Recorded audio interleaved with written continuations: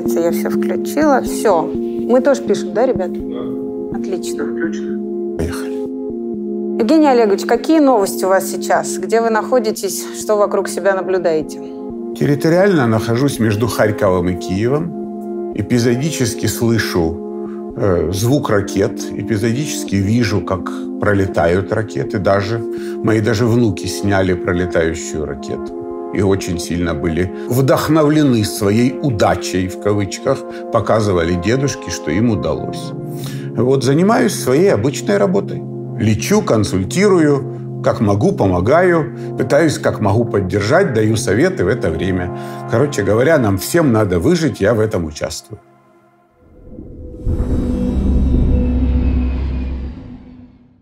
Всех с праздником, с огромным праздником, с днем независимости Украины. Полгода войны, 31 год независимости. Эти полгода мы с вами приходим к пониманию и уже точно пришли к пониманию огромной ценности вот этой самой независимости. В День независимости Украины вы выпускаете видео на своем канале, а, и, как всегда, выпускаете его на русском языке. Вы неоднократно говорили, что это ваш родной язык, и это, он не принадлежит Владимиру Путину. Насколько вы э, ругаемы в своей стране за это, что сегодня это все-таки прям, мы это часто слышим, что это язык агрессора, и вот принципиально нужно себе в нем отказать? Властью не ругаем, большинством населения не ругаем, а определенными маргиналами, которые появляются в комментариях, возможно, и ругаем. Но я на это не очень реагируют. Знаете, есть такая очень типичная наша черта, с которой я борюсь все свое время.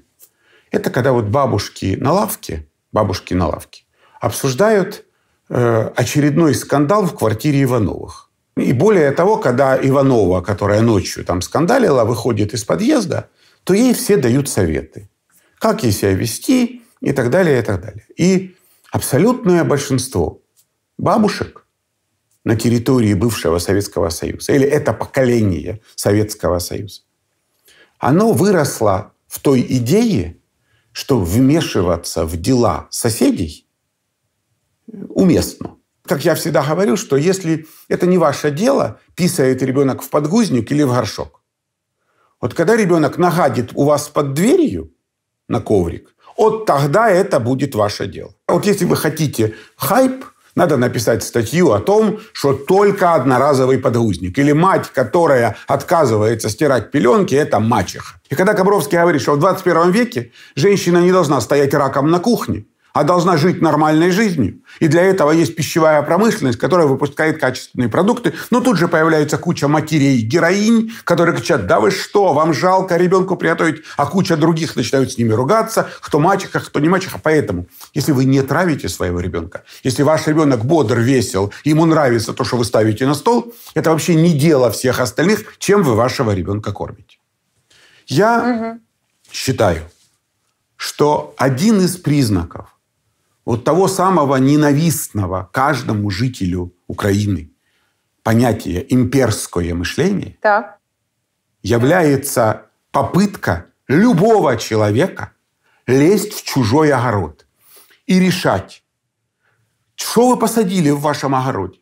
Вот пока я посадил в своем огороде, пока мои удобрения не летят на вашу территорию, это вас не трогает. Вот и все. Поэтому я хочу, чтобы вы сразу понимали, что вопрос, есть ли у меня проблемы, нерешаемых нет. Есть ли у моей страны проблемы? Есть. Война очень многие вещи окрасила исключительно в белый и черный цвет. Она нет места полутонам. Если раньше я мог себе позволить дискуссию, то сейчас я прекрасно понимаю, я не вижу никакого совместного будущего, кроме забора. Я вижу этот забор очень высоким, прям до неба. Я думаю, лет через 30 он начнет медленно, может быть, отпускаться. А может и нет. Может и нет. Угу. Поэтому я э, глубоко убежден в том, что вопросы внутренней повестки Украины однозначно не касаются никого. Другой вопрос в том, что пока мы тратим жизни людские, жизни, огромные ресурсы на сосуществование с соседом, который тот тут спецоперирует, будь он не ладен, понимаете, да? то меня очень волнует то, чтобы на этой территории сопредельной еще у кого-то открылись глаза. Еще -то кто-то понял, что Комаровский не относится к притесняемому населению Украины. Что здесь, здесь реально есть проблемы, но нет проблем, которые являются поводом к тому, чтобы обстреливать жилые кварталы городов из системы залпового огня.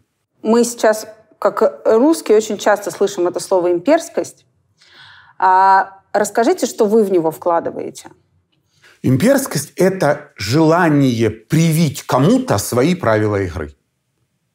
Человеку, человеку, государству, общности, людей навязать некую модель, которой заинтересована страна, генерирующая эту самую империю. Ну, страна или человек. Соседка на лавочке – это, так сказать, бытовая имперскость. Это смешно, вне всякого сомнения. Но просто бытовая имперскость заканчивается мордобоем, а имперскость государственная заканчивается войной, убийством, огромным количеством преступлений. Как вы считаете, откуда она взялась э, в российских людях?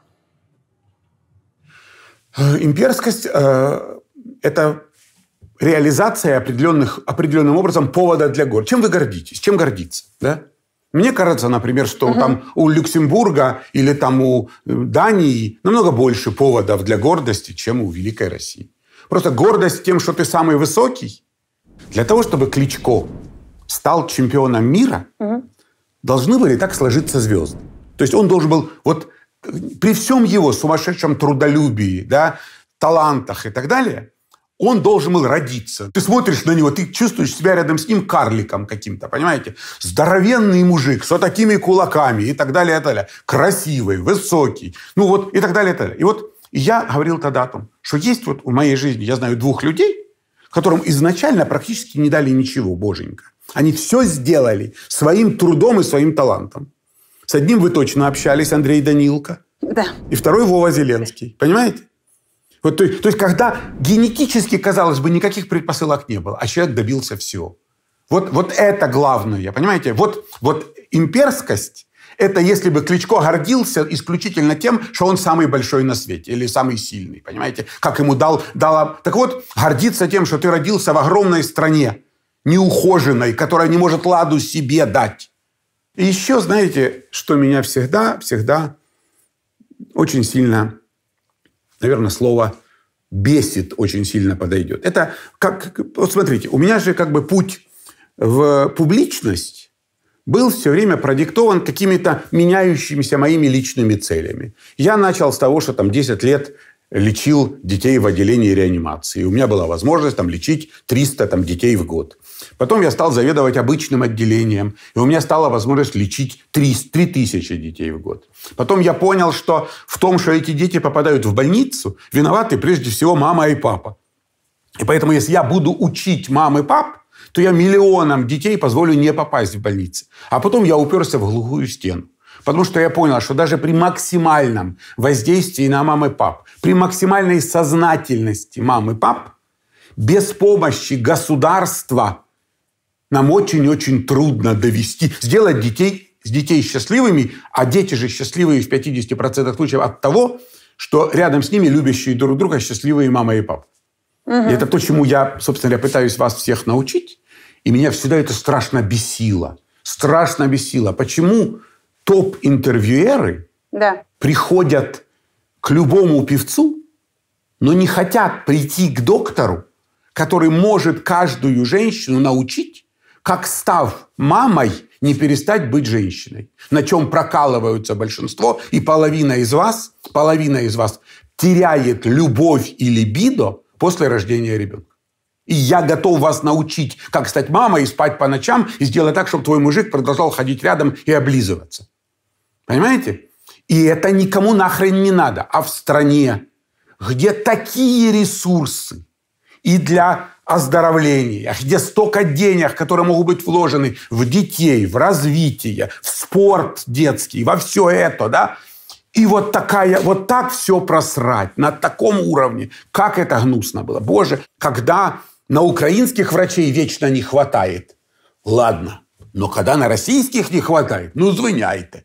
Смотрите, и вы, и я родились в одной большой стране, огромной.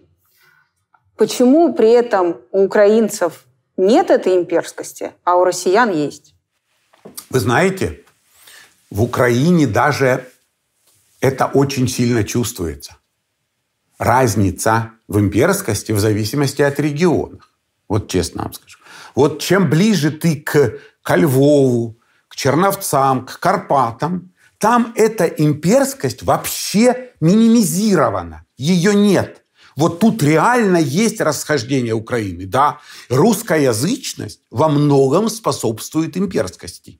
Понимаете? Во многом. Это есть. То есть э, мы самые крутые, богатые и так далее, и так далее. Мы много можем.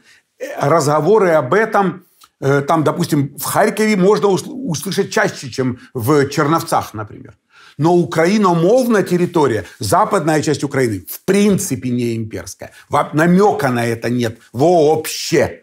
Вот там я даже вижу это по семьям, по семьям. Там меньше тенденций лезть куда-то. Поймите, Э, при всем при том, э, что в Харькове тоже можно столкнуться с теми же соседками на лавочке, которые каждый лезут в каждую дырку, понимаете? Но уже 30 лет новое поколение молодежи выросло вне имперскости. И они этих бабушек легко посылают Поэтому мы проехали имперскость, проехали. Там ее и нет на Западе, а Харьков, Донбасс, э, там Запорожье, Днепропетровск, это, Днепр, мы это, от этого избавляемся стремительно. Почему у украинцев получилось, а у нас нет? Вот у вас есть ответ? Почему украинцы э, умеют высказать свое мнение, знают, что твоя родина – это не есть государство, это не власть, и то, что политиков можно и нужно критиковать. Вот почему та полемика, которую вы сейчас не любите, мы братский народ, мы там один, а у нас много общего, у нас общее прошлое, ля-ля-ля. Но почему у одних получается, а у других нет? В чем проблема? Я вам скорее отвечу как детский врач. Давайте. Желание, желание самостоятельно принимать решения, затрагивающие твою судьбу и судьбу своих детей. Я вижу очень сильно, как это меняется от страны к стране. Как от страны к стране это меняется. Когда приезжает Комаровский в какую-то страну, и ты видишь аудиторию, зал, да, ты видишь, как к тебе... Например, один из очень важных показателей – это количество мужчин в зале. Угу. Вот в России никогда больше 10-15% максимум. В Финляндии 50%. В Эстонии 50%. Понимаете? Как отцы принимают в участие в семье. Да, да, да, да, да. Понимаете? Потому что когда мужчины задумываются о будущем своих детей, когда это главное. Сделать, чтобы твоему ребенку не пришлось воевать. Дать своему ребенку образование. Привить своему ребенку ответы на вопросы, что такое что хорошо, что такое плохо. Понять самое-самое главное. Детям больше всего на свете, больше еды и питья, больше свежего воздуха нужны любящие друг друга мама и папа и вам надо вместе учиться, брать на себя ответственность за счастье своей семьи. Вы не сможете в 21 веке сформировать нормальную семью, поскольку есть огромное количество вызовов, которым надо учиться. Один из серьезнейших вызовов 21 века состоит в том, что огромное количество цифровой информации, на, а, на переваривание которой дети не адаптированы, не рассчитаны. А мамы, мамы значительно меньше общаются с детьми, значительно меньше, потому что мама в Инстаграме больше, чем рядом с ребенком. В Украине, по-видимому, вот этот вот инстинкт, желание общаться, выяснять отношения, самим принимать решения оказались сильнее. Возможно, возможно, в силу отсутствия той самой имперскости. Не надо думать с нами тот, кто все за нас решит. Это же Высоцкий про имперскость немецкую писал, а сейчас вот она реализовалась. И вот эта фраза «не надо думать» оказалась ключевой. И я всю жизнь учил «думайте, сами принимайте решения». Вы живете в стране, где врач умирает с голоду, если вы здоровы. Врачи выживают только, когда вы больны. Поэтому вы должны так получить такую информацию, так следить за ребенком, так общаться с доктором, чтобы между капель пробежаться. То есть тут вы должны брать на себя ответственность. А вы можете этим не заниматься. Можете отдать. Э, ну, и папа а что делает? Говорит, приходил врач, я готов. И главная задача какая папы? В аптеку сбегать. Все, все остальное. Вот он сбегал в аптеку, значит, он галочку на своей совести поставил. Потому что, когда ты с рождения слышишь о том, что ты самый великий, что у тебя на миллион лет запасы нефти и газа, что у тебя все золото мира, что у тебя бриллианты, у тебя титан, у тебя электричество, у тебя все леса мира, у тебя вообще, у тебя самая сильная в мире армия. Какого хрена ты будешь за свое будущее волноваться? Вождь все решит, он деньги решит, он все, у нас все есть, понимаете? А в Украине такого нет. Кто бы тут начал говорить, что мы тут самые? Мы, у нас самая вкусная еда? У нас самый красивый Днепр, да. Наши поля с подсолнухами э, под июльским небом. Ребят, простите, пожалуйста, но когда я говорю, самое красивое, что может быть, это когда ты едешь э, летом в июле из Харькова в Киев, и это 450 километров, вот 450 километров флаг Украины. Синее небо и желтые подсолнухи. И такая красота, и такая гордость за свою страну. Да, тебе все время хочется узнать, почему у тебя самые большие поля в мире подсолнухов, а у тебя подсолнечное масло дороже, чем в Польше. Да, это хочется узнать. Но это не ваше собачье дело. Мы сами с нашими производителями масла разберемся. С чем мы гордимся? Чем может гордиться Украина? своей землей, своими садами, своим застольем, своей уникальной кухней, красотой, нереальной красотой женщины. Вы знаете, что после Харькова путешествовать невозможно. Ну вот невозможно. Более, ну я, я не знаю, может быть это, вот, ну ты когда приезжаешь куда-нибудь в Европу, да, господи, ребята, вы хотите полюбоваться на красивых женщин? Приезжайте в Харьков. У нас вечером по Сумской ходить невозможно, вот такие глаза у вас будут. Потому что mm-hmm. вот, вот мы этим гордимся, да.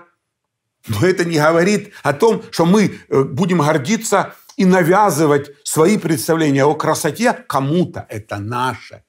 И именно сейчас вы не представляете, как это больно. Это вот все равно, как видеть, как твоего любимого насилуют каждый день. Каждый день ракеты, которые обстреливают Харьков. При этом, когда я слышу эту дурь, что мы в таком-то доме обнаружили оружие, и в этот дом нацисты загнали жителей, и их оттуда не выпускают. Послушайте, на кого это рассчитано? Неужели есть люди, которые действительно в это верят, что в Украине мы сами загнали своих людей, женщин, детей в дом, да, и там сложили оружие? Да у нас таких женщин нет. Понимаете? У нас попробуйте на нашу украинскую женщину рот открыть. Она не то, что вы ее загоните, она вас загонит. Так далеко, что вам мало не покажется. Нашли с кем связываться. Смотрите, вот то, о чем вы говорите, что вот э, в этот дом положили оружие. А, мой мастер там маникюра, девушка-украинка, которая после э, Крыма э, заимела, значит, российский паспорт, переехала в Москву. А она говорит о том, что они всю жизнь ко мне так относились э, в Донбассе, потому что как бы вот Украины, украинцы все время не любили меня, потому что я вот говорила на русском и так далее. Дальше я беру у кого-то интервью, все время находится у кого-то женщина на работе, которая там из Луганска, и, и все время я слышу вот эту одну и ту же историю, да всю жизнь вот у нас были вот эти стычки. О чем они говорят? Не знаю. Вот не знаю. Ну, казалось бы, да, у меня должны быть проблемы, как вы считаете? Ну, у меня. Я говорю по-русски всю свою жизнь, да. Я объездил всю Украину. Всю. У меня одна проблема. Одна. Приехав в Карпаты, сказати їм, ребята, я розумію українську мову. Не надо при мне розмовляти російською. Понимаете? Вот и все.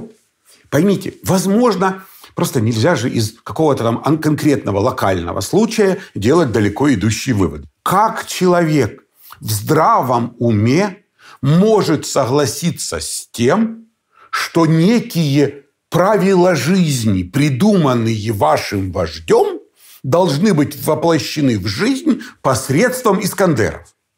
Почему? Вы что, ребята, поймите, Ирина, правда, сейчас самое сложное для меня – удерживаться в рамках нормативной лексики. Понимаете, на самом деле. Давайте просто вот представим себе самый главный тезис пропаганды, который мне не дает покоя там, с первого дня войны.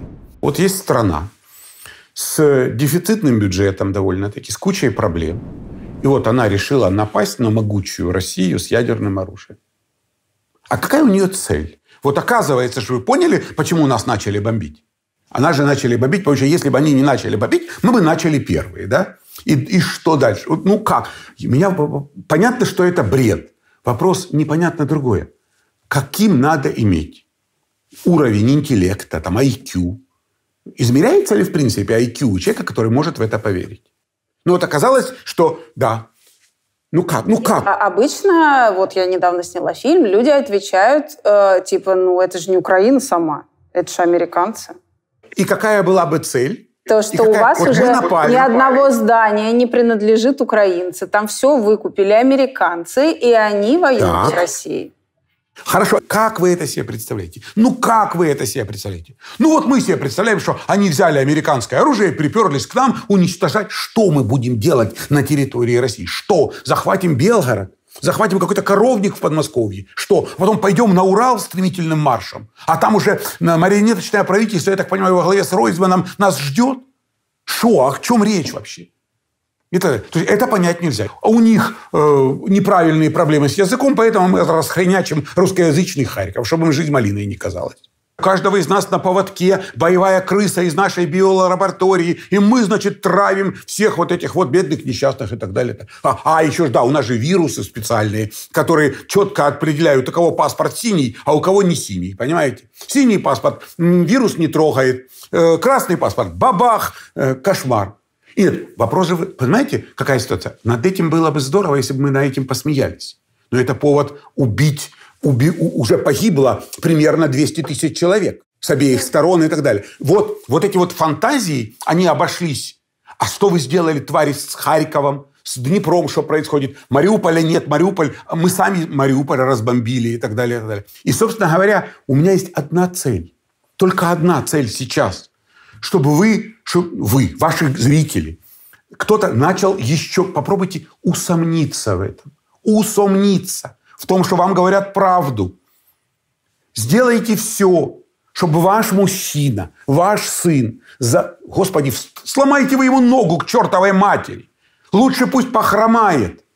Еще один вопрос. Девочки, я сейчас обращаюсь. Смотрите, Протестов нет. Почему? Почему в России нет протеста? Совершенно очевидно, почему. Потому что выстроена потрясающий, крайне эффективный аппарат насилия. Куча здоровых мужиков, готовых по команде ФАС наброситься и навести порядок. Но теперь смотрите.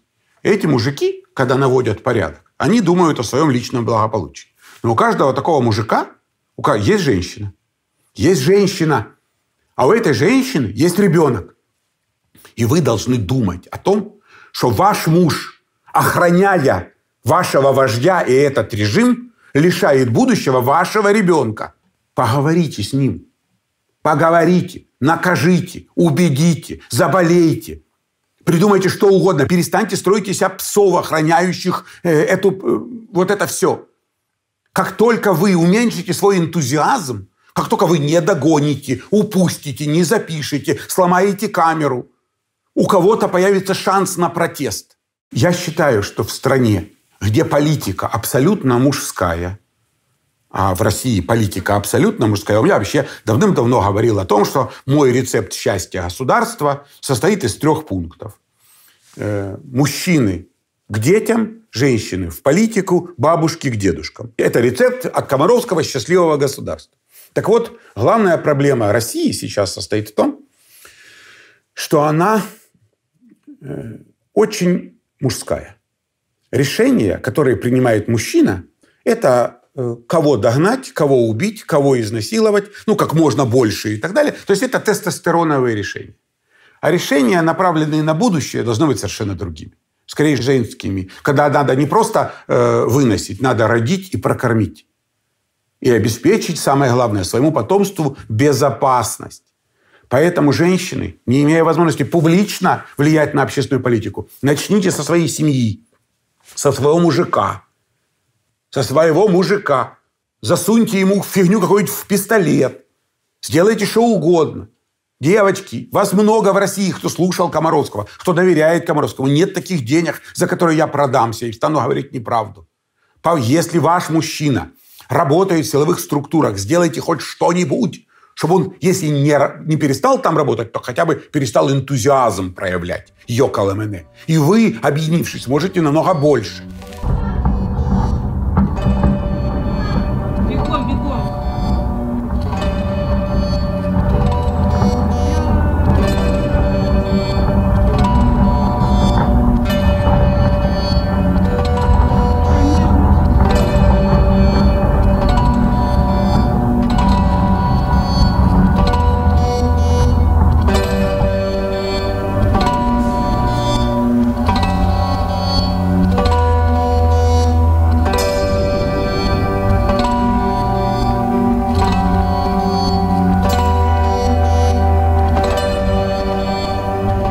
Разговаривал с одним ребенком в Харькове. Вот вдумайтесь, шестилетний ребенок произносит фразу «Если бабахают, но нет тревоги, это значит бабахают наши». В Харькове сейчас большей частью примерно так. В 2021 году вы стали почетным гражданином Харькова, правильно? Да. А во-первых, в каком состоянии сейчас ваш дом и ваша клиника, которая тоже в Харькове? Э, они, я бы сказал так, в замороженном. Ну, то есть э, в 80 метрах от клиники э, воронка Искандера, Поэтому окна на первом этаже, естественно, бзымс, они забиты ОСБ и так далее, и так далее. А в доме воронка Искандера 200 метров от дома. Поэтому, а из водосточной трубы э, выковыривали осколки, ну, такие приличные, это в доме, у меня частный дом, вот, э, и э, еще куча осколков по территории двора. Ну вот, вот в таком состоянии. Я почетный гражданин, я горжусь Харьковом. Знаете, э, вы, наверное, это, через это не прошли. Э, мы же, когда у нас был в нашем пионерском детстве в Советском Союзе, естественно, была такая проблема города-герои. Да? Да. Город-герой Киев, да. город-герой Одесса, город-герой Москва, город-герой Ленинград. Это было в нашем детстве. И вот ты, когда мы жили в Харькове, я всю жизнь живу в Харькове и жил в Харькове, и мне было всегда так вот расстраивало, что мой родной город не город-герой. И тут на старости лет я оказался почетным гражданином города-героя Харькова. Я вам скажу честно, я бы еще 60 лет походил не жителем города-героя, лишь бы сюда не лезли эти падлы, чтобы нам не надо было эти подвиги совершать. А вы почему никогда не думали переехать в Киев? Э, зачем? Смотрите, одна из больших проблем, с которой я столкнулся, начиная примерно с 2010 года, когда начала выходить в Киеве школа доктора Комаровского, это постоянное желание затянуть меня в политику. Причем меня всегда искренне... Я помню, как один мне говорил, я не буду называть их, хотя очень известные люди, но они он говорил, это место стоит 20 миллионов, а ты отказываешься. Понимаете, вот и эти разговоры, то есть каждый, для меня каждые выборы, это надо уходить куда-то в подполье, понимаете, потому что меня все пытаются затянуть куда-то и так далее. Я не хочу, мне противно власть над людьми, мне противно это все. Я, это вообще не мое. Если я буду в Киеве, я буду ближе к власти, ближе к политикам, ко мне чаще будут, то есть так меня будут звать на дни рождения, на какие-то банкеты, на какие-то заседания. А так звоняйте, я в Харькове. До свидания, до свидания. Опять-таки, многие харьковчане Харьковчане считают, что я в Киеве. Киевляне знают, что я в Харькове. В результате я как бы между капель дождя э, вот пробегаю и э, нахожусь в нейтралитете. Не есть ли то, что вы не переезжаете в Киев, то, что вам комфортнее и удобнее жить вот в этом русскоязычном пространстве Харькова? Да Киев на 100%, ну практически, он до войны практически русскоязычный. Да не в этом проблема, вообще не проблема. Я можу розмовляти українською мовою. Я знаю, Але... но просто вот э, вы мне описали там, э, кто во Львове, тот чуть иначе все-таки мыслит, чем мой харьковчан. Нет, я говорил исключительно о имперскости. Да. Это важно. До войны Харьков можно было назвать пророссийским городом? С пророссийскими настроениями? Нет, однозначно нет. А И как... Вы же поймите, что... А до войны, 23 число это до войны? Да. То есть 23 числа он был пророссийский, а 24 э, очереди выстроились в тероборону, да? Нет. Я много раз об этом говорил. Это абсолютный, абсолютно дебильный штамп пытаться путать пророссийскость с русскоязычностью. Это разные вещи. Ваш мэр Геннадий Кернес, он же был противником Евромайдана, сторонником и там член партии Януковича. То есть, ну вот по всем вот этим регалиям, да, и интересам его, я понимаю, что это такая все-таки пророссийская повестка. Можно его назвать пророссийским политиком или нет? Вы знаете, э, я неплохо вроде как, как мне казалось, знал Кернеса. Угу. Его, его идеологией был, был Харьков. Харьков для того, чтобы себя комфортно чувствовать в этом городе. Если бы ему для этого надо было сказать, понимаете, что у него прокитайская позиция, он бы сказал, что он прокитаец. Кернес был очень, как бы это сказать, ну, как говорят, продуманным. Он, у него была цель. Понимаете, была цель. Он относился к Харькову как хорошая хозяйка к своей кухне. Понимаете? Я здесь хозяйка, я решаю, где стоит посуда, я решаю, чисто тут или нет, я. И я решаю, что у нас будет на обед. И я сделаю все, чтобы мою, на мою кухню никто не лез. Вот если для того, чтобы на его кухню никто не лез, надо было сказать А, он сказал А. Завтра он бы сказал Б. Но, за, но первичен для него был именно Харьков.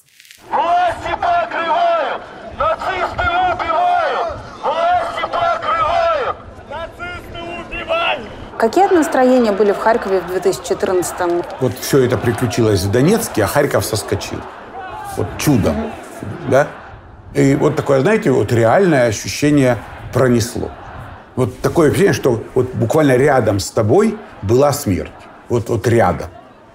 Вот это было чудо. Харьков э, тогда, во время Майдана и всего остального, да, вот именно в 2014 году, э, по большому счету находился очень близко к той черте, э, то есть, по-видимому, у них, как и в этот раз, не хватило ресурсов додавить в разных направлениях. Сэкономили. Или были уверены, что Харьков сам пойдет в объятия, а Харьков не пошел. Вот вы говорите, соскочил. Потому что, ну, ну как бы, было просто, Харькове, просто больше, как, чем... как в любом, в любом городе, который пытались, пытались раскачать, точно так же, как Донецк, э, как Луганск. Это же не... Поймите, вот это все раскачка, эти митинги, эти штурмы СБУ, это же была не внутриукраинская тема. Это люди, казачки, за деньги, которые понаехали хрен знает куда. У нас тут в Харькове ходили люди, которые давали интервью, как они любят э, Харьков, они говорили с белгородским акцентом. Вы же понимаете, у нас же россиянина по, по разговору сразу видно, понимаете. Когда мужик с... Э, приехавший утром на автобусе из Белгорода, лез название на здание губернатора вешать э, ну, то самое здание, которое весь мир видел, рядом с которым ракета упала в первые дни войны, допустим. Да. Вот он лез на это здание, вешать на него российский флаг и так далее, и так далее. И там был вот этот митинг типа пророссийский. Так вот, э, когда приехали ребята ОМОН, который их разогнал, этого было достаточно, потому что у харьковчане все этого очень сильно не хотели. Очень сильно не хотели. Тут, ну, Харькова хватило, хватило духу, ну, то есть на Харьков хватило ресурсов. А в Донецке все было намного круче. Там было, видно, больше денег вкинуто. Понимаете, туда было сложнее нашим про- про- проукраинским силам пробиться и так далее. Там это произошло. А среди, вот вы наблюдали харьковчан, были действительно не прие, приехавшие непонятно откуда, а действительно местные, которые вдруг задумались, а может быть и нам? Ирина, город 2 миллиона человек. Ну, понятно, что в двухмиллионном городе найдется 200-300 идиотов, которые могут кричать, что им туда хочется. Но если их крупно показывать, так всегда можно... У нас же можно найти в 40-миллионной стране э, пару идиотов, понимаете, и так далее. И потом их показывать всей России по 10 раз. И пытаться на этом по 10 раз на дню. И на, на этих примерах да. э, доказывать, что это типичная ситуация. Как вы считаете, я просто не понимаю, почему в Харькове до последнего времени показывалось российское телевидение? Ну, я вот э, не смотрел российское телевидение в Харькове в Харькове. Я не смотрел российское телевидение. А вы как-то жаловались в одном из интервью, что вам приходится платить за украинские каналы, а российское телевидение бесплатно. Это что такое? У нас возможно такое, что некоторые каналы ты должен оформить подписку. А спутник э, российский э, можно поймать бесплатно. Об этом говорили многие. Это один из наших внутренних пробелов. Угу. Тем не менее, тем не менее, человек, который смотрит только в одном направлении, это неправильный человек, надо иногда крутить головой. Инстинкт. И, понимаете, все э, животные, которые смотрят только в одном направлении, они очень быстро вымирают. Надо уметь крутить головами. Поэтому у животных есть такое, у млекопитающих, есть такая штука, называется шея. Она предназначена для того, чтобы вы крутили головами. Поэтому у человека шея есть. Шея есть для того, чтобы ты смотрел не только в одном направлении. Вот, предположим, перепись населения в Украине происходит, приходят к харьковчанам, и у них спрашивают, ну, к русскоязычному, а украинец ты или русский? Чаще какой ответ давали? Не как, знаю. Как себя называют? Ну, у меня нет ответа на этот вопрос, честно вам скажу. Ну, вот честно. Ну, я еврей. Ну, дальше что? У меня жена гречанка жена гречанка, когда была перепись населения, у меня и пришли, это было при Советском Союзе, понимаете, да. э, когда и у меня у нас тогда только сыну было года 4, и у нас была при Советском Союзе перепись населения, и стоит эта вот э, э, тетя и говорит, там евреи, гречанка, а в качестве как, сына как записываем, и тут он выходит и говорит, я русский. Понимаете? Что ему? Он какое-то кино смотрел. Ну и что дальше? Ну, для, я вообще считаю, что в 21 веке э, таким вопросом вообще не место. Вот для меня, лично для меня. Национальности? Для меня национальность, национальность – это скорее, еще раз говорю, это любовь к определенной территории и правилам игры, установленным на этой территории. Это то, что включается в понятие «родина». Родина – это территория, где с детства тебе знакомы правила игры, правила жизни. И вот это, если эти правила близки и территория совпадает у огромного количества людей, вот это и есть нация. Вот в Украине из-за войны нация сплотилась сильно, но она сформировалась до войны.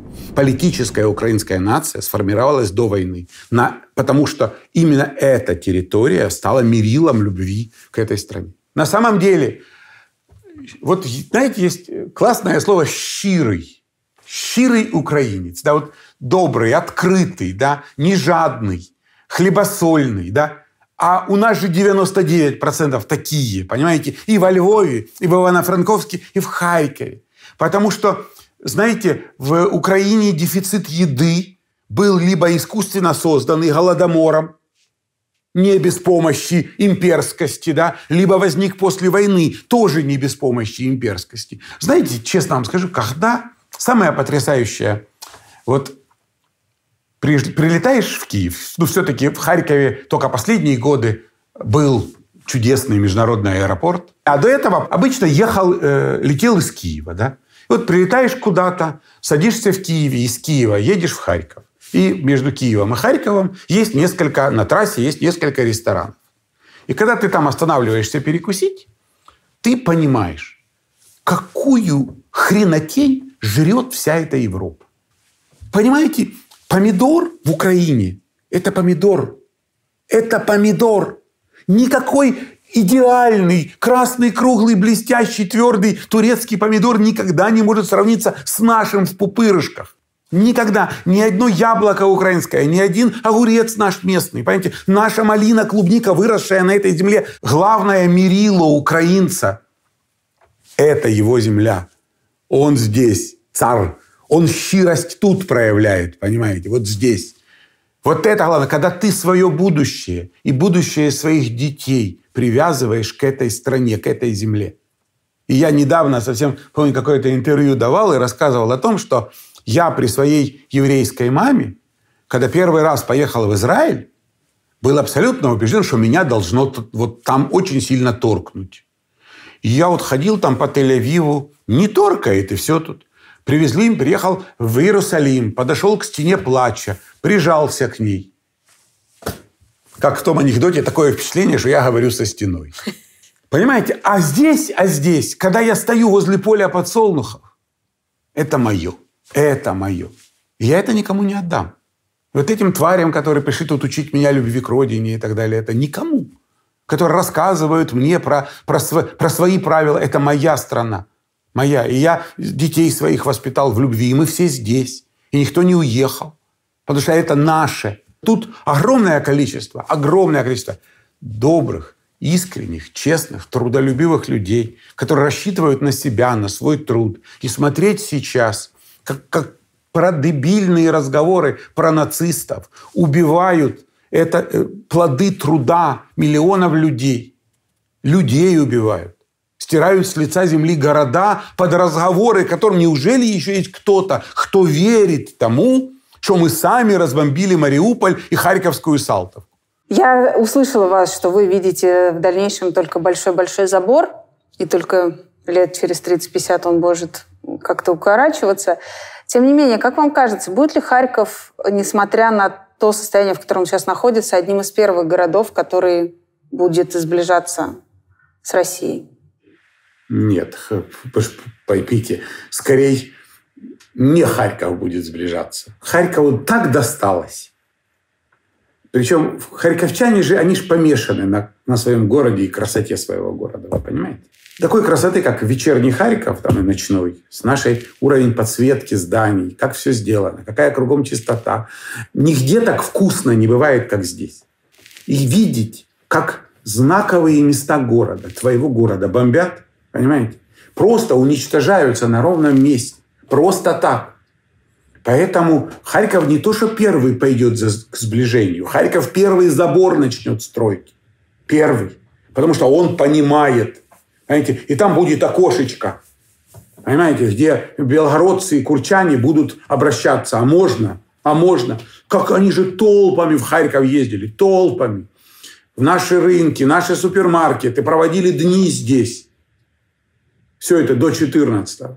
Харьковский рынок Барабашова, да там э, раньше, там до 14 там все сплошные автобусы, до горизонта автобусы с российскими номерами приезжали это всюду и так далее, и так далее. И что вы теперь пришли? Как куда вы пришли? Боже, и вы не представьте, ну просто понимаете, Салтовка Харьковская. Вот люди не могут понять, что такое спальный район. Полмиллиона населения, полмиллиона многоэтажек. Можете себе представить? Сейчас это выглядит как ну, четко пикник на обочине Стругацких. Точно. Посмотрите там фильм «Сталкер». Это же, ну как это? И, и вы после этого думаете, что они, мы первые пойдем навстречу? Еще раз говорю, мы будем кирпичи подносить. Кирпичи границ. Только цементный завод в Балаклее надо будет привести в порядок. Вы обращались к своей аудитории а, вот э, не только в феврале там, и марте этого года, но и после 2014 -го? Да я регулярно вроде как на эти темы. Ну, смотрите, я в 2014 году я обращался, после этого я регулярно касался этой темы во многих интервью. Да, ну, собственно Насколько, да. как вам кажется, вот эти обращения к российской аудитории были услышаны с 2014 года? Не, я не мог перебить э, такую... Вы же понимаете, какая против меня команда зомбирования? Нет, конечно. Они регулярно смотрят и так далее. Нет, я перебить это не мог, но, тем не менее, я по, по тем письмам, которые я получаю, по откликам, очень многие рассматривали Комаровского как человека, который однозначно говорит правду. У меня всю жизнь были огромные проблемы с телевидением. Огромные. Потому что всегда важнейшим условием моего входа в любой телевизор было я решаю, можно эту рекламу размещать или нет. Mm. Понимаете? Потому что рядом со мной разместить какой-нибудь виферон или другие фуфламицины, это... Так вот, люди об этом знают о том, что я ни за какие деньги не продам свою репутацию. Поэтому людям, когда я говорю, что это война, то огромное количество людей мне верит. Именно поэтому я продолжаю общаться с этой аудиторией. Потому что если благодаря моему общению еще одна женщина не пустит своего сына на войну, еще одна женщина устроит истерику и не пустит своего мужа на войну, понимаете? Еще одна соберет детей и уедет, в конце концов. Я буду считать, что я сделал все, что мог для этой ситуации. И это моя цель сейчас, единственная. У вас же 8 миллионов подписчиков в Инстаграме. Ну, было 9.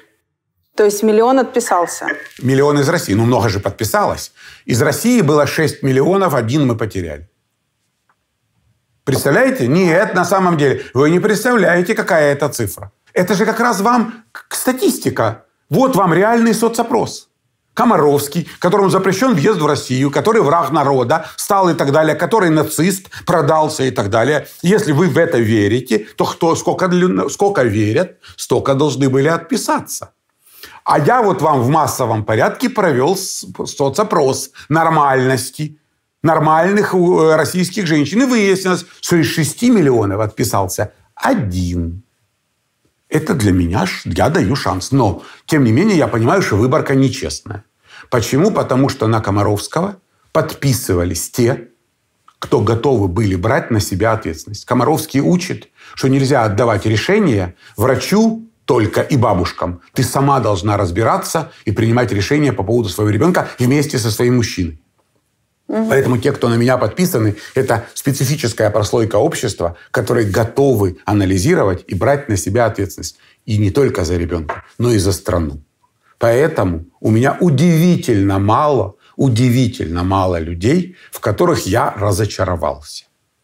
Много мне задают вопросов по поводу детей, дети на войне, как ребенка успокоить. Вот мы выехали, что делать, когда это все прекратится, когда он перестанет кричать и плакать по ночам, перестанет дергаться. Что нового вы узнали о том, что как война может повлиять на ребенка? Ну, дети не могут нормально учиться. Дети знают, что там в городе Харькове осталась их спальня, их игровая комната, большинство их игрушек, их друзья. Э, они общаются со своими бабушками и дедушками, которые остаются под огнем. Они звонят утром узнать, жива ли бабушка и дедушка, потому что в ночной сводке была информация о том, что в район, где живут бабушка и дедушка, два раза прилетело. Поэтому, разумеется, дети очень быстро взрослеют. И их уже волнует не, что бабушка ела на завтрак, а жива бабушка или нет. Они что-то понимают о войне? Старшему ребенку 8-9, то мы стараемся все-таки не погружаться так глубоко. Но вне всякого сомнения, мои внуки будут все знать про эту войну. Придет время. Они узнают, кто, кто за белых, кто за красных, кто хороший, кто плохой, кто виноват. Они получат от меня и от своих родителей ответы на эти вопросы совершенно однозначно вот э, два фрагмента очень э, серьезного письма от женщины, а сын которой впервые пришел домой, э, он сейчас на фронте. Вот он сказал, мама, сказал он, уже вопрос не кто кого, а мы, но когда. Вот вы сейчас на YouTube-канале своем очень часто делитесь письмами, а, и было ли такое, что вы не знали, какой ответ дать матери в сложившейся ситуации? Что делать с ребенком? Что бывает очень часто. Бывает очень часто. Ну хорошо, но если мой ребенок болен бронхиальной астмой, мы в течение многих лет получаем лекарство фликсатид. Мы сейчас на оккупированной территории, этого лекарства нет. У ребенка один за другим приступы в течение двух недель. Что мне делать? Или, доктор, Опять-таки та же астма, пороховой дым, пожары, обострение, что делать и так далее, и так далее. Как, конечно, таких вопросов огромное, при огромное количество. Я себе напоминаю одного из моих любимых писателей Вересаева, Викентия, который был врачом и написал потрясающие совершенно записки врача. Так вот, Вересаев э, писал о том, что я чувствую себя неловко, когда рекомендую ломовому извозчику не поднимать тяжести, а прачки с экземой рекомендую не мочить руки. Ну вот я примерно сейчас, э, общаясь со своими ребятами, которые дышат всякой дрянью, рискуют жизнью и так далее, иногда напоминаю себе того самого доктора. Сегодня там в моих э, сетках э, соцсетей очень часто, конечно, появляются там или посты, или рассказы об э, украинских беженцах, мамах, которые там пытаются как-то детей чтобы дети жили нормальной жизнью, но при этом, если они идут в музей на какую-то экскурсию, э, пытаться обойти, э, ну, например, период военный в той или иной стране. Вот такое я недавно читала, что нельзя ребенку рассказывать не о пулях, давайте обойдем этот э, пушечный зал или еще что-то. Я не знаю, знаете ли вы ответ, вы тоже как, впервые в этой ситуации. А, чё, чего делать? Сколько ребенок будет восстанавливаться? Вообще возможно ли какое-то восстановление после того, как ребенок посидел а, в бомбоубежище и услышал вообще эти взрывы?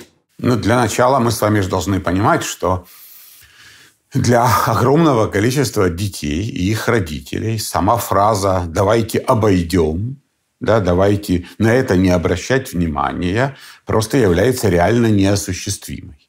Городов куда не прилетало, э, в Украине практически не осталось. То есть прилетает везде. И люди, э, когда начинается время тревог, и когда э, краснеет вся карта Украины, это, как вы понимаете, сказать ребенку, мы обойдем это дело, не будем на это обращать внимание, мы нет, не можем. Нет, я имею в виду, что эти дети в Европе, они идут, допустим, в какой-то музей, вот такое я недавно читала. Вот после... те дети, которые в Европе, там есть четко, совершенно четкие алгоритмы. Э, это, я называю это э, алгоритм малосольного огурца. Сейчас объясню. Если в бочку с малосольными огурцами кинуть нормальный огурец, он очень быстро становится малосольным. Так вот, надо этого ребенка пострадавшего как можно быстрее погрузить к детям не пострадавшим. Поэтому самое главное, как можно быстрее ребенка в местный детский сад, в местную школу. Я категорически против того, чтобы создавать какие-то специальные группы для детей-беженцев. Нет, эти дети должны быть растворены среди нормальных детей. Это один из самых эффективных способов восстановления. Тем не менее, кроме общества, есть еще один очень важный момент. Дети так устроены. Это инстинкты млекопитающих это то, чему я учу вас, молодых женщин, которые только будут, с которым предстоит размножение. Дети копируют поведение взрослых. Ничего нельзя сделать, нельзя успокоить ребенка, если рядом с ним мама, которая дрожащими руками набирает номер папы, который остался в окопе. Ничего нельзя сделать. И это состояние мамы передается ребенку, он это видит независимо от возраста, он это чувствует. Поэтому речь о восстановлении пойдет тогда, когда мы сможем к какой-то стабильной эмоциональной там, парадигме привести маму. Иначе никаких вариантов. Скажите мне, если сегодня, как врача вас спрашиваю, если сегодня вам, предположим, предоставится выбор – Вернее так, вот у вас выбор, спасти украинского или российского ребенка. Что вы сделаете? Правила оказания медицинской помощи. Медицинская сортировка. В медицинской сортировке нет такого понятия национальности. Это оценка тяжести состояния, кто тяжелее, кто нуждается в помощи в первую очередь, кто соответствует принципам медицинской сортировки, того и будем лечить. Вы в одном из своих YouTube-видео говорили о том, что вы смотрите все-таки на страну писем, из которых вам пишут э, мамочки? Да, конечно. Почему вы это делаете в таком случае? Э, я точно знаю, что я, ни, ни я, ни мои дети, ни мои внуки не смогут жить не по соседству с Россией. Это нам придется все равно каким-то образом сосуществовать. Влияние, понимать, что там внутри происходит, это важно анализировать эти процессы, возможно, влиять на эти процессы. Собственно говоря, беседуя сегодня с вами, я пытаюсь на это повлиять. Я пытаюсь внести зерна сомнения. Если еще десяток мужиков не возьмут в руки автоматы и не припрутся в мою страну, значит, мы с вами не зря сегодня разговаривали. Хотя я прекрасно понимаю, что любой мой разговор с вами, ну, с любым российским журналистом, это тоже повод для критики. Но я вижу, но я вижу свое, свою возможность помочь собственной стране именно так. У меня есть свои правила. Ну, все. Хотя, конечно, здесь есть у нас куча экспертов по патриотизму и любви к родине.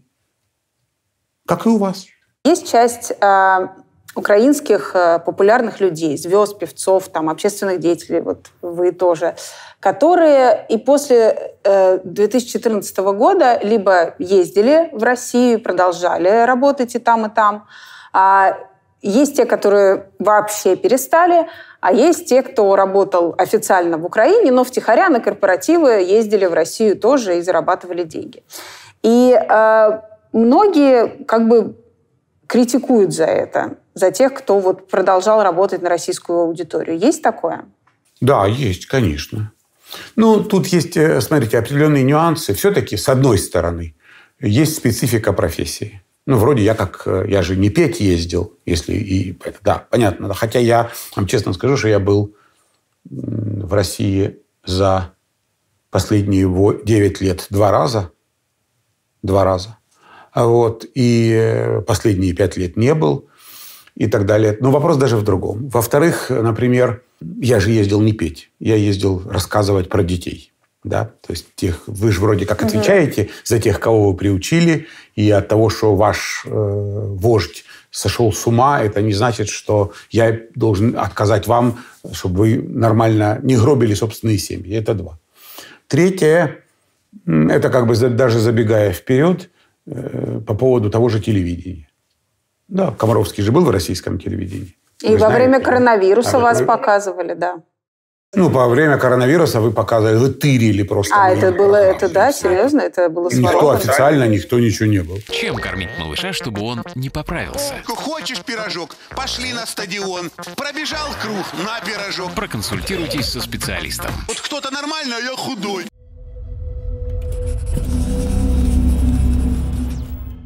Вы, наверное, заметили, что сейчас не так просто свободно говорить, что думаешь. Даже несмотря на то, что по Конституции цензура запрещается.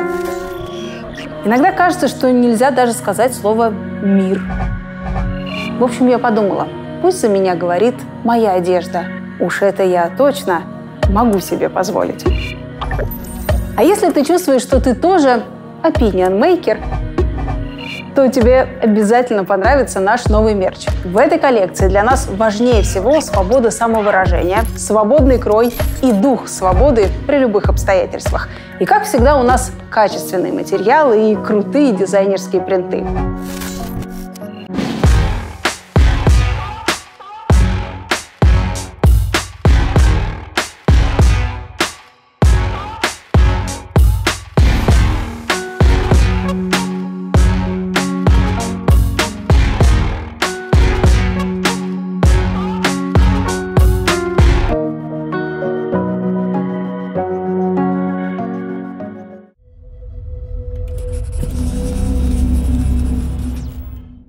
Вы э, там, я понимаю, что последние пять, э, пять лет не ездили. А когда ездили, вы же ездили с лекциями, вы зарабатывали, ну, это заработок, правильно? Вы зарабатывали деньги. Да, нормально. Вы поддерживаете критику украинцев, которые критикуют своих звезд, которые продолжали зарабатывать в России?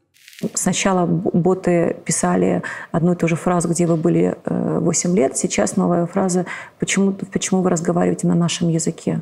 Я хочу сказать, что русский язык не принадлежит русской власти он принадлежит русскоязычной аудитории, русскоязычному человеку, который живет во всем мире. Говорить какие-то претензии по поводу того, что кто-то говорит на русском языке, я на нем думаю. Я сплю и вижу сны на русском языке. Это язык, на котором я говорю всю свою жизнь. Когда я смогу найти песню, которую я смогу прочувствовать и сделать ее э, своей, я буду с удовольствием, с большим удовольствием петь на украинском языке. У меня другая позиция была, что когда из каждого утюга в России рассказывает о том, что здесь сплошные нацисты и так далее, и так далее, то видеть и общаться с живыми нормальными людьми – это один из поводов не поверить собственной пропаганде. Я рассматривал это так. Просто, еще раз говорю, нельзя равнять петь, песни и медицинские лекции. С моей точки зрения это раз. Но, опять-таки, песни песням рознь. Когда э, в Москве э, в 15-м, 16-м, 17-м звучали украинские песни, я это приветствую. Я не вижу. Я вообще, я вообще считаю, что это проблема... В том контексте, в котором мы с вами говорим, в чем разница, песня это или лекция, какая разница? Ты все равно работаешь с это аудиторией страны агрессора. И то, и другое, и то, и другое является не очень, с моей точки зрения, нормальным э, проявлением вот того самого «а поговорить».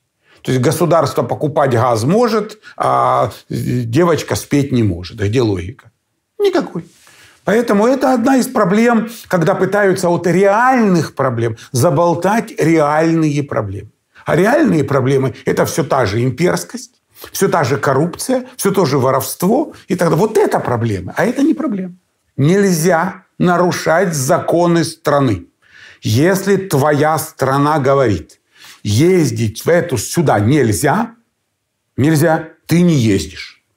Понятно? Если от лица страны куча народа, считающая себя экспертами по любви к родине, начинают высказывать свое мнение, то это их личная позиция. Если человек не нарушил закона страны, к нему нет никаких претензий. Я крайне законопослушный. Считаете ли вы, что на тех людях, э, кто из Украины ездил в Россию после 2014 года, лежит часть ответственности за то, что Россия э, пришла в Украину? Да бросьте. Ну, это, это вообще это, это попытка, э, по-моему, уже давным-давно во всем мире. Насильника не может оправдать ничего. Насильника и убийцу не может оправдать ничего. Ездили, торговали, пели, скакали, плясали, голые жопы показывали. Неважно. Насильник пришел сюда убивать. И попытка, даже намек на то, что как-то это можно оправдать хоть чем-то, этому нет оправдания. Это гнуснейшее преступление. Такого бандита и преступника в 21 веке еще не было. Вот он есть. Все. Многие украинцы сегодня критикуют россиян, которые уезжают из страны под политическим давлением или в связи с ситуацией, что они не могут жить в стране-агрессоре. И они говорят, что как бы они не правы, они должны э, оставаться в стране и бороться. А в том числе звучат различные призывы о том, чтобы усложнить этим людям жизнь а, за границей. Там визы, понятно, банковская система, доступ к медицине и очень много. И давайте уточним, что я говорю не об олигархах, не о э, друзьях президента Путина, а о простых, там, я не знаю, айтишниках, журналистах, э, вот, творческих людях, я не знаю, театр, театр актерах и так далее. Вы поддерживаете эти разговоры? Вам тоже кажется, что эти люди должны оставаться в России и противостоять режиму? Или, или как бы вы понимаете? Нет, у нас в, в украинском обществе нет консолидированной позиции по этому поводу. У нас есть такое мнение и такое, но на то и цен, тем и ценно украинское общество, в котором мнения могут быть полярными. Но если я считаю, что э, главная ценность любой страны – это люди – да, и сберечь адекватных, вменяемых людей. Это очень важно. Я не разделяю э, создание препятствий для выезда, но я, я бы предложил, э, сформулировал быть понятные критерии в которые должно входить предыдущая деятельность, образование, мотивы, семья, преследование, э, э, состояние здоровья, зарплата, даже позиция в социальных сетях и так далее. Это, ну, какие-то должны быть понятные критерии, по которым ну, нельзя ко всем, кто выезжает, относиться одинаково. Я считаю, совершенно, это совершенно однозначно. Если человек протестовал, если его преследовали, если он выезжает, чтобы обеспечить безопасность своей семье, ну, это нормальная ситуация. Ему надо помочь, поддержать. Если человек наворовал уже кучу в России, так нахрен надо, чтобы ты тут воровал. Воруй дальше. То, что вы говорите, немножко похоже вот на ту знаменитую фразу Гарри Каспарова, который сказал про хороших и плохих русских. Паспорт хорошего русского. Я сформулировал для себя критерии хорошего русского.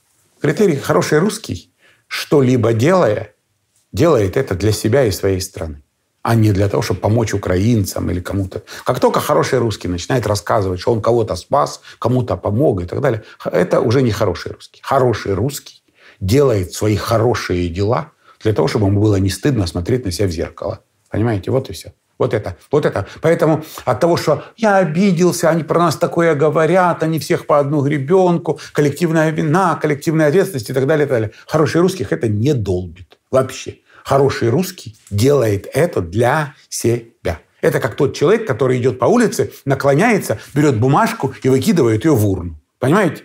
Все. Он это делает для себя, для своего города, для того, чтобы стало чище вокруг. Все. И он мало говорит об идиоте, который набросал этих бумажек. Таких русских я ценю и люблю. И они понимают. И они понимают, что страна, которая 6 месяцев под бомбежками, люди могут... Э, я еще считаю, что мы потрясающе сдержаны, просто потрясающе сдержаны. Вы сейчас видите какие-то перегибы в, э, в украинской критике, э, допустим, оппозиционных россиян? Перегибы есть. Они легко объяснимы с медицинской точки зрения и психологической. Понимаете? Вот. И, очень, и то, что ты, я говорю сегодня, если завтра у меня ко мне во двор упадет ракета, я буду говорить другое. Поэтому надо всегда понимать личная история войны. Это всегда очень важно. Иногда никого не хочется не то, что увидеть, хочется, чтобы исчезли все. Вот просто. Вот чтобы, вот, э, вот как хочется, чтобы Украина взмахнула бы руками и улетела куда-нибудь там поближе к Новой Зеландии, понимаете? Вот это. А еще лучше, чтобы Россия туда улетела. И оставили нас со своими полями и Днепром. К еще одной, да, претензии укра... украинцев к русским, что они не противостоят режиму Владимира Путина и не выходят на улицы и так далее. Вы считаете, что это возможно сегодня? Я придерживался такой позиции пару недель после начала войны. Потом я понял, что машина насилия чрезвычайно, чрезвычайно эффективна. И, по-видимому, простыми, понятными каждому украинцу мерами собраться и выйти на протест в России действовать уже поздно. Вы просрали такую возможность. Мой совет думающим россиянам – ищите способы получать достоверную информацию и берегите свои смартфоны и компьютеры от силовиков на улицах. Учитесь противостоять репрессиям, которые ваша власть планирует усилить. По поводу критики. Вы до войны очень сильно критиковали Владимира Зеленского. Вы говорили, что произошло поколенческое обновление и что это не привело к обновлению роли государства в жизни народа. Да? Вы критиковали за налоговые новшества и говорили, что э, государство ведет борьбу с коллективным олигархом, украинским народом, э, что Зеленский не хочет слышать критику, не знает страну, и что в стране нет нормальной медицинской статистики, э, ну и системы в том числе. Любая власть развращает, говорили вы, и происходит немягкая украинизация. Владимир Александрович – президент моей страны. Моя страна сражается сейчас с вашей. Понимаете? Поэтому я не то что морального права, никакого права не имею сейчас даже заикаться, пытаясь ответить на этот вопрос. Также я посмотрела рейтинг Владимира Зеленского до войны и после. Значит, до войны и перед войной он колебался в районе 25-30% у украинцев, а сейчас составляет 90% поддержки. И вы мне вот говорите, что нельзя во время войны критиковать э, президента. Я а... говорю, что я не буду критиковать. Да, да. Даже не так. Я не буду критиковать верховного главнокомандующего. Это э, очень важно. Как только президент становится верховным главнокомандующим и однозначно крайне успешен, крайне успешен в этой ипостаси, то надо заткнуться, заткнуться и не умничать на эту тему. И не мешать ему принимать. Потому что одно из главных моих, может быть, разногласий были проблемы с кадровыми решениями. И, как оказалось, кадровые решения и в плане министра обороны, и главнокомандующего и так далее оказались чрезвычайно удачными. И все. Точка. Можно ли сказать, что ваше отношение к нему во время войны тоже поменялось?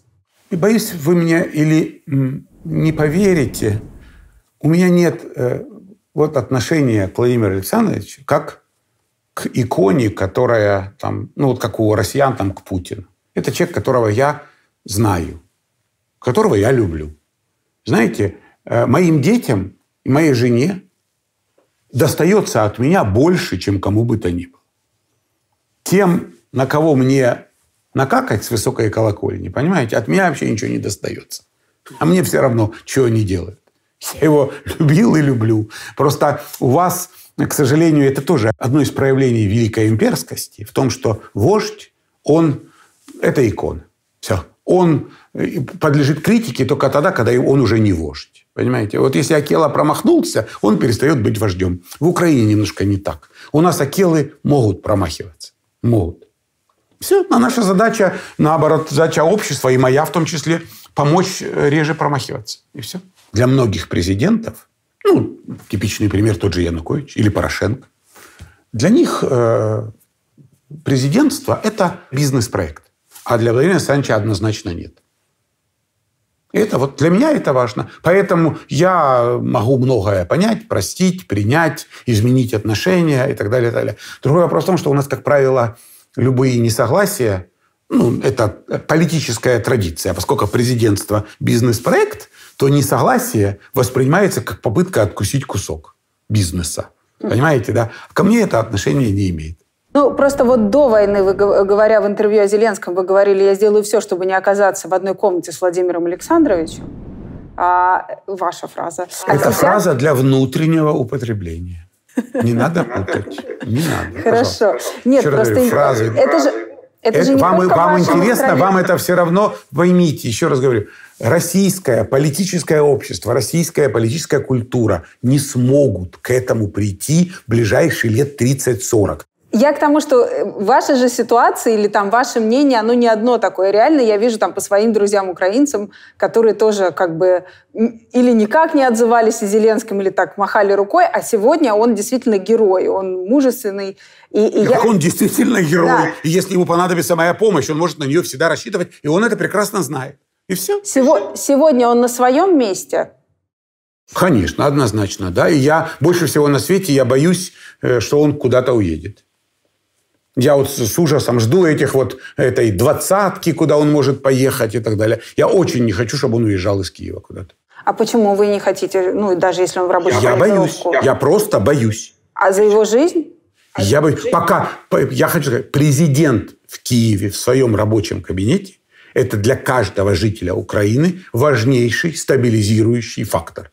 Признак того, что власть на месте, врач, власть сражается, власть с народом, власть вместе с нами. Все. Ну, собственно говоря, я боюсь, когда он, вот он поехал во Львов, мне было страшно. Чисто это моя человеческая позиция. Вот и все. Мне спокойнее, когда он там. И я, и опять-таки он, если он услышит об этом, он поймет, что когда он выезжает из Киева, то украинцы нервируются сильно. Лучше пока не надо. А 24 февраля у вас были мысли, что лучше бы на этом месте был кто-то другой? Нет. Кто? Да нет, нет. Вот как раз тогда нет. Я вот честно нет. Нет. Вот честно, вот вы сейчас спросили, а я по- по- по- поймал себя на том, что у меня такая постановка вопроса мне даже в голову не приходила. Когда можно, э, вот вы говорите, сейчас нельзя ничего говорить, э, когда верховный главнокомандующий исполняет эту роль, обязанность. А, а когда можно начинать критиковать президента? Мирное соглашение подпишут, уберетесь с нашей территории. Поймите, я для себя, вот лично для себя, ничего не ищу в этом. Вот просто вы понимаете, тоже главная проблема в том, что огромное количество людей публичных, они все время считают, что если ты кого-то там, не дай бог, покритиковал, значит, вы что-то не поделили. Вот не поделили.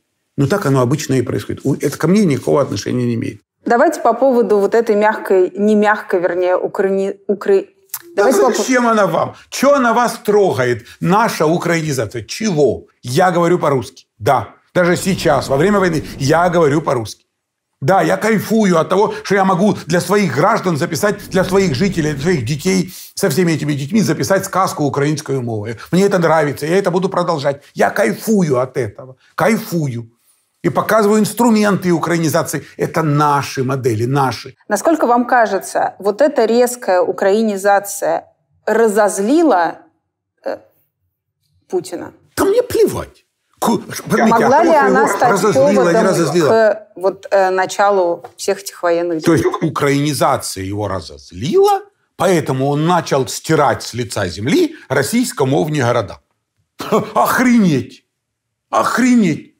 Да в Харькове, в Украине были считанные города, считанные, в которых сайты горсовета были российской мовой, ну, на русском языке. Мариуполь один из них. И что вы с ним сделали? То есть, как, подождите, меня разозлило то, что у них насильственная украинизация, поэтому я первым делом уничтожу русскоязычное население. Это фигня все. Это не логика, там нету логики. Может, лучше пусть они спрашивают, диагноз какой у этого человека. Диагноз. Я тебе честно скажу, честно скажу. Когда-то мы были на четвертом курсе института, у нас началось занятие по психиатрии.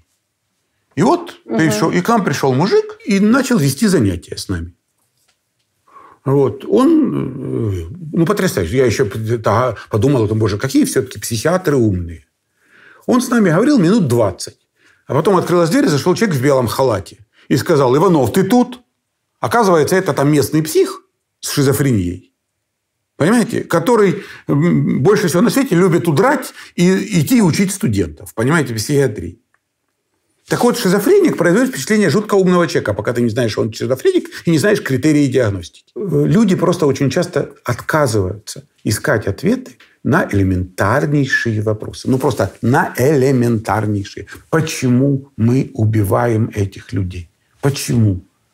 Потому что там в домах засели нацики. Но если вы не можете убить нациков, не погубив при этом миллионы гражданских, ну так свалите. Ваше высокоточное оружие, похоже, не очень высокоточное. Идите тренируйтесь. На обезьянах, на собаках, на ком-нибудь еще. Вперед! Тренируйтесь. Ваша цитата. Вне всякого сомнения, в наших странах, в Украине, в России, в Беларуси, набившие друг другу морду мужики традиционно всегда договаривались за бутылкой водки. И это было всегда проще, чем война. Э, это была цитата довоенная, сразу предупреждаю.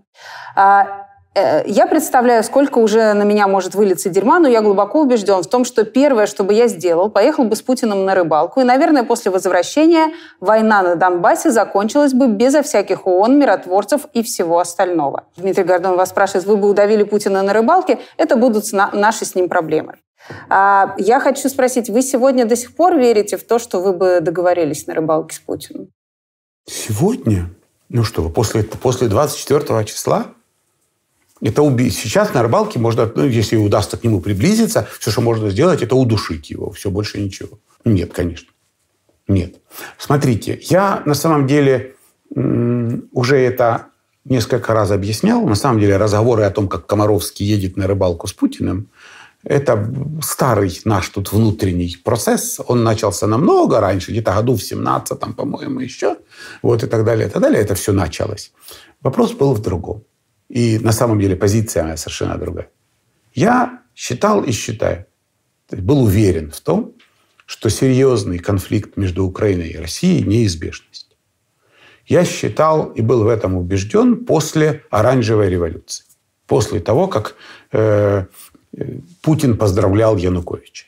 Я был глубоко убежден в том и остаюсь при том убеждении, что, коль скоро нам довелось жить по соседству с бешеной собакой, непрогнозируемой, то надо, наоборот, создавать иллюзию э, нормальных отношений, но самим готовиться противостоять.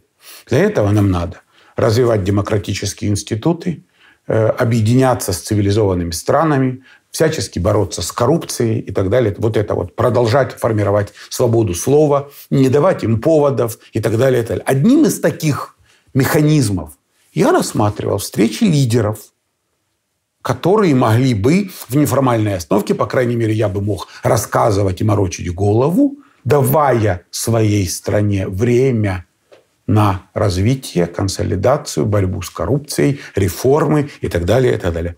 Кажется ли вам, что вы ошиблись э, в Путине в том плане, как и многие, что а, ну, вы пытались, как бы, вы думали, что с ним можно договориться, а выяснилось, что, допустим, с тоталитарным лидером ну, все разговоры бессмысленны. Наверное, да, но у меня нет стопроцентной в этом убежденности. Почему? Потому что мы, у меня на сегодня есть, еще возможно, я очень сильно ошибаюсь, но у меня есть э, предположение, что интеллектуальные способности Путина 22 года – интеллектуальные способности Путина 17 это очень разные способности. Я, мне кажется, что он перенес тяжелую коронавирусную инфекцию и посткоронавирусная энцефалопатия с расстройством всяких там функций интеллектуальных стала одной из причин войны. То есть э, связь между коронавирусом и войной я также усматриваю. Но это всего лишь мое предположение. Но это коронафобия, эти столы, эти все его контакты. По-видимому, были разговоры о том, что повторное инфицирование тебя вообще убьет. Поэтому, скорее всего, ну и вот я поэтому думаю, что принять решение ну, поймите, но даже в, при решение, в которое не посвятить даже министра иностранных дел в то, что ты собираешься вообще войну развязать, понимаете, похоже все-таки, что это немножко не очень умный человек принимал такие решения. А в 2017-м вы бы с ним договорились? Да откуда я знаю? Послушайте меня, мы обсуждали абсолютно сказочную ситуацию, когда э, Гордон, который любит э, втереться в доверие к доброму, к доброму человеку, начинает говорить о том, а вот если бы вы были президентом, я президентом быть не собирался, понятно, и так далее, стать им не мог, это встреча, то есть я мог с таким же успехом встретиться с ним на Луне, понимаете, и так далее. Поэтому все это чистая теория но которая, как похейтить, там, пообщаться, побухтеть, ради бога, я вас умоляю. Вопрос в другом. Работает в стране, где практически у, в каждой семье есть опыт тюрьмы, зоны, тюремной иерархии, где любой шаг назад, то есть стремление к миру, к компромиссу, к протянуть руку, к выйти из конфликта, это равно слабость. Равно слабость. Поэтому любой пахан, проявивший слабость, становится объектом. Все. И он, и для него важно понты. Вот это для него главное сейчас. И поэтому этот не может сдать назад, потому что он перестанет быть паханом. Они по понятиям, страна по понятиям. Вот же в чем вся проблема. Украина попыталась, вырвалась из этого. Она перестала по понятиям, перестала, реально перестала. Когда думаю о том, что кто-то будет после Путина, я понимаю, что этому человеку невероятно сложно придется решать вопрос с тем же Крымом, Донецком и Луганском. Объясню Нет. почему. Объясню почему. Нет. Потому что если... А потому что, потому что российское общество чрезвычайно, оно доказало всему миру, что оно чрезвычайно подвержено э, влиянию пропаганды. Понимаете? За полгода правильной пропаганды, в которой Россия достигла невиданных высот, невиданных. То есть, если люди верят в абсолютный бред, за полгода вам расскажут о том, что Черное море, внутреннее море и вообще не, и ваши мощные авианосцы, там, там просто негде развернуться, что там вообще радиоактивная почва, что там нет воды, что Крым обречен, что вообще, ну вас к чертовой матери взрываем мост и уходим. Все, так им и надо. Пусть они сами осваивают этот проклятущий Крым. Все. И ваша пропаганда за полгода перезомбирует всех, и все будут кричать «Вау! Нахрен он нужен? Пусть, пусть забирает». Я не очень с вами соглашусь по поводу Крыма, потому что мне предполагается, что то, что говорилось в 2014 году, это реально почувствовали настроение россиян. У нас же даже падал рейтинг Путина, и после Крыма он просто вырос. И мне кажется, что если какой-то новый президент решит, решит все сделать по закону, а, ему будет крайне... То есть это будет очень непопулярное решение сказать, что нет, Крым украинский, и как бы все, отматываем назад. Очень непопулярное. Поэтому, кстати, новому президенту российскому, по-видимому, надо будет отдавать все скопом. То есть сразу. То есть и Курилы, и Крым, и Кенигсберг. Все сразу. Бубух, чтобы сразу получить свою порцию пиздюлей с первого раза. Понимаете, сразу. Хоп, и проехали. Все. Еще раз говорю. Путин же тоже рассказывал, что, как, что Крым э, украинский. Соловьев об этом рассказывал, рассказывал. Потом раз, стали рассказывать другое. А, а дальше он скажет, скажет, сколько можно нам, великим россиянам, кормить этот зачуханный Крым? Я принял решение. Все. Это не наше. Наше. Зачем оно нам надо? Пусть украинцы сами вошкаются со своим Крымом. Не нужен. Послушайте меня. Я знаю точно, еще раз говорю, он скажет, пропаганда поддержит, перезомбировать, зазомбировать. Да вообще я не вижу ни в этом проблемы. Ну, ладно, мы с вами говорим о Крыму, как будто это незаселенная земля, которую как бы туда-сюда передают. Там же люди живут, и, и все попытки наших журналистов снимать разного, разные оппозиционных, неоппозиционных в Крыму говорят о том, что там тоже все рады. А, в большинстве своем. А что с этими людьми делать будем? Первое, мы не знаем информации. Прежде всего, хотя бы потому, что нельзя провести опрос людей, да? Опрос людей нельзя провести, просто потому что люди боятся говорить правду. Ну, это же очевидные вещи. И у меня письма от крымчан в огромном количестве и те, и те. И за, и против. И за камни с неба, и за подсолнухи. То есть полно всего. Да? Вопрос абсолютно в другом. Каждый человек адекватно реагирует на вменяемые аргументы. Россия и Украина под эгидой всего мира подписали соглашение, в соответствии с которым Крым по всем международным договорам принадлежит Украине. Это украинская территория. И мы, великая Россия, всегда будем верны нашим договоренностям. Понимаете? И поэтому любому, любому тому, кто придет после Путина, не составит никакого труда сказать, что как можно было так дискредитировать нашу великую Родину, противопоставив ее международному праву, заставив нарушить те обязательства, которые взяла наша страна, а я теперь должен исправить все эти ошибки. Поэтому мы, конечно же, если вы, дорогие мои крымчане, не хотите жить в Украине, то наше государство создает вам прекрасные условия. Вот в Краснодарском крае у нас есть возможность переселения, вот там-то и там-то. Мы дадим условия, мы дадим каждому жилью, кто не хочет оставаться в Украине. Украина сделает аналогичное заявление о том, что мы готовы принять. Все, только условия у нас вот такие. У нас страна вот такая. Язык государственный украинский. И так вот мы по таким правилам мы будем жить. Все, ребят, послушайте меня. На самом деле это предмет договоренности.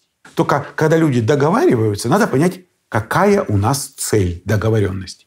Государственные понты или комфортная жизнь людей на этой территории.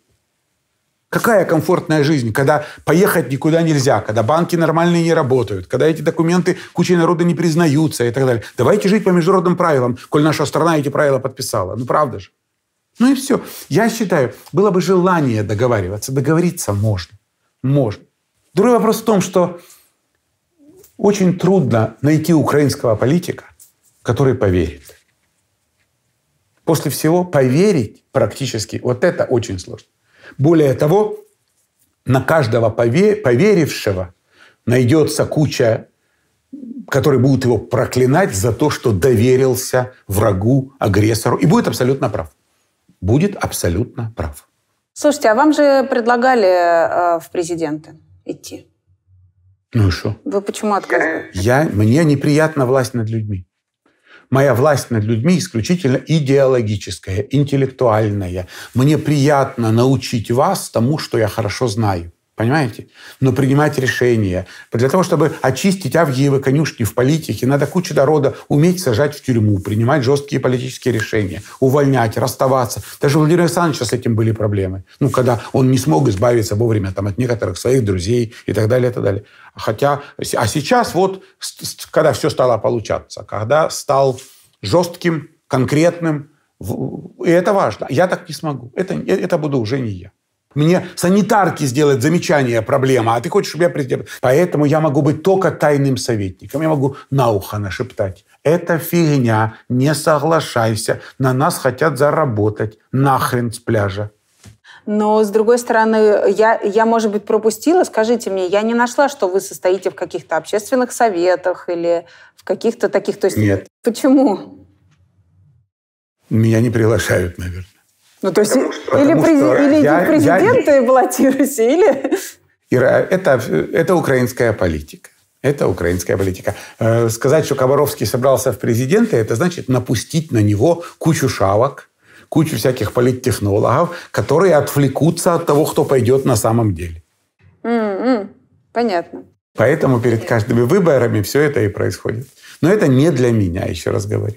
Знаете, я совершенно спокоен. Я четко для себя давным-давно понял, что не выходя из э, деревни, я себе на э, заработаю на жизнь. И в частности, я же врач. Вы понимаете, в деревне врач, господи, курица, яйца, молоко, творожок, все домашнее. Мне обязательно принесут. Поэтому я думаю, что я потяну. Просто, э, когда я смотрю все ваши довоенные интервью, получается, что вы очень много критикуете, и как будто и в этой ситуации как будто не предлагая. То есть, а вот когда говорит, ну иди сделай, не-не-не, это все не для меня. Как только у нас, да и у вас, как только начинаешь критиковать, начинают выяснять, кто тебе дал денег за то, что ты критикуешь. Ну, это обычная ситуация. Мы к этому адаптированы. Э, я могу пойти в президенты другой страны. Израиля? Ну, подумаем. Спасибо вам огромное, Евгений Олегович. Удачи, Ирина.